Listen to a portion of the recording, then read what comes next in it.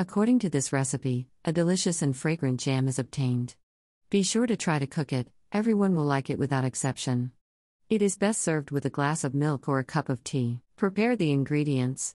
Wash the plums and put them in a ladle or saucepan. Add sugar. Add the cinnamon and ginger. Cook the jam over moderate heat for 15 to 20 minutes. Then put it in a clean glass jar. Tighten the lid tightly on the jar.